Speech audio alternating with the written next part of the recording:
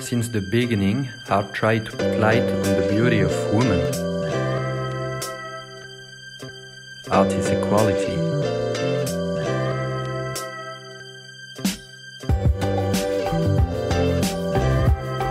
Art is universal. It's a language that everyone can feel.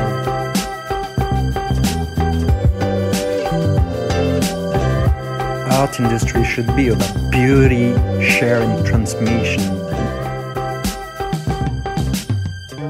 All the color and the pigment you can see on the painting is from nature.